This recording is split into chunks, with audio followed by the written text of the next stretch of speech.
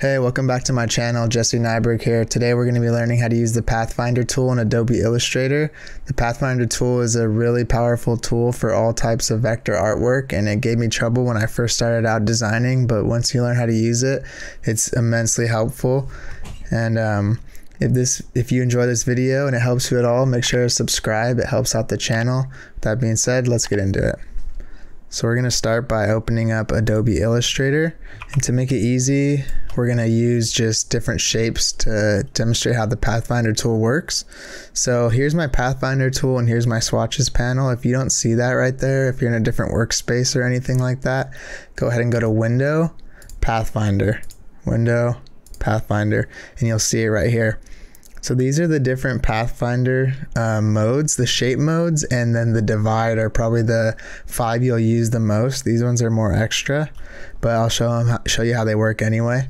So we have unite, minus front, intersect, exclude, and divide for our main um, our main five. So what we're gonna do is come over to your ellipse tool, grab that, hold shift and click and drag to create a circle and then we're gonna hold alt and shift and drag that over to make a copy of it. And now let's make this one green and this one blue. All right so how this works is basically the pathfinder does different things when shapes intersect. So for first off see the green ones on top? So you want to highlight both and click unite and since the green one was on top, it took the dominance in terms of color and it united the shapes. So if you click Control Y, you can see it's actually just one shape now. Whereas uh, if we undo Control Z, you'll see before it was intersecting right there. All right, next up we have minus front. So that is exa does exactly what it sounds like. It deletes the front from over the shape. So let's say we move this right there we're gonna grab, hold and grab, get both right there and we do minus front. So see, it cut out that shape and this is really good if you want to create like any type of moon shapes or different effects. See, we can do it with different shapes and squares and everything too.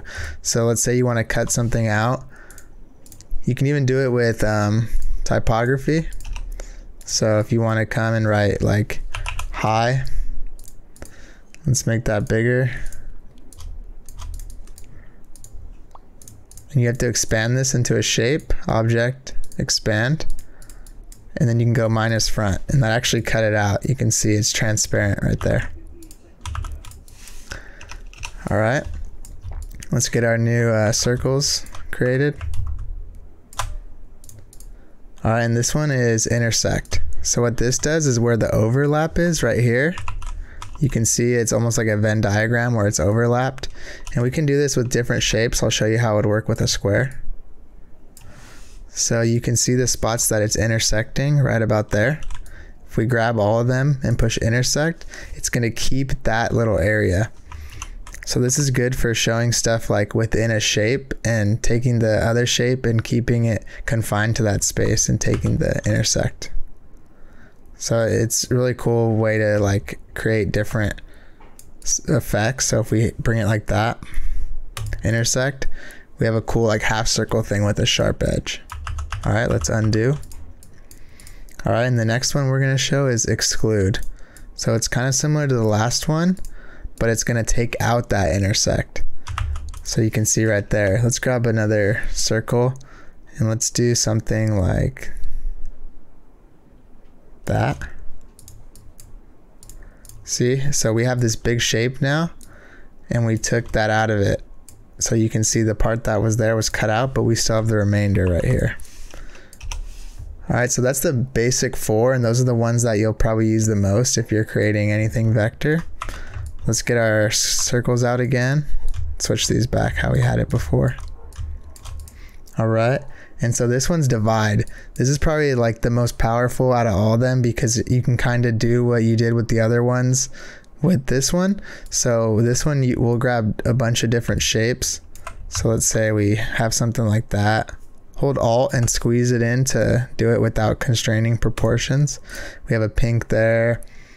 And let's say we have a some kind of rectangle coming over the top like something like that. So you see we have all these different shapes and they're all intersecting right here. So when you do the divide, it's gonna separate each spot that's intersecting. So you'll highlight them all and then you'll click divide. And now what you need to do is ungroup everything. So object, ungroup. And you can see all the different pieces are gonna be able to break apart. So you can already see that you'll be able to create some pretty cool stuff by cutting things out of other shapes.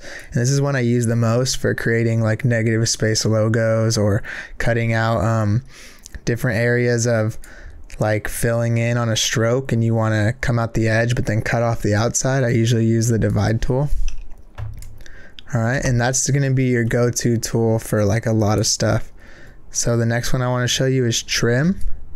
So we have our two circles and the how this one works is you highlight both and you're going to select trim. And you can see it merged them together but it kept the little circle right there.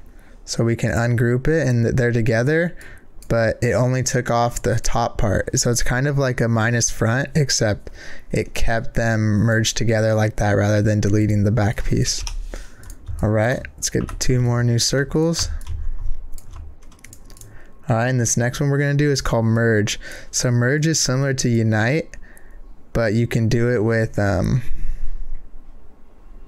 two different colors.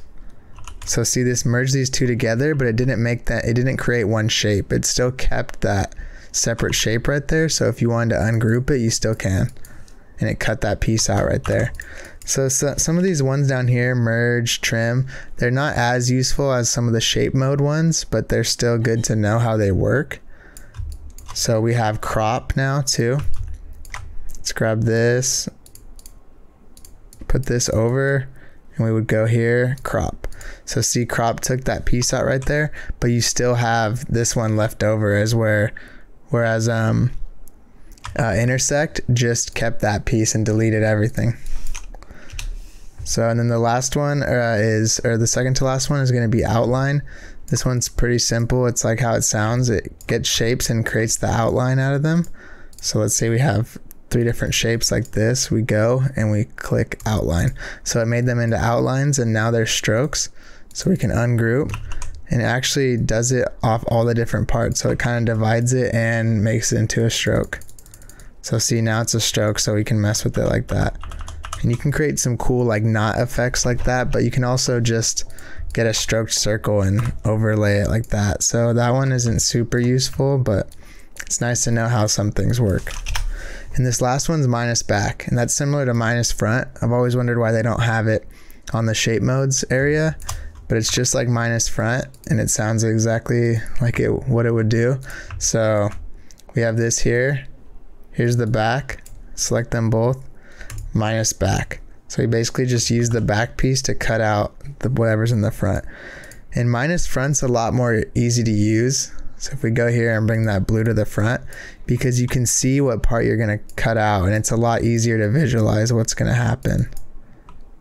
So like this, for example. So I usually use those ones more. But yeah, that's pretty much it for the Pathfinder tool. If this video was helpful to you at all and you enjoyed it, please subscribe. It really helps the channel. And I'm looking forward to seeing you guys in the next video.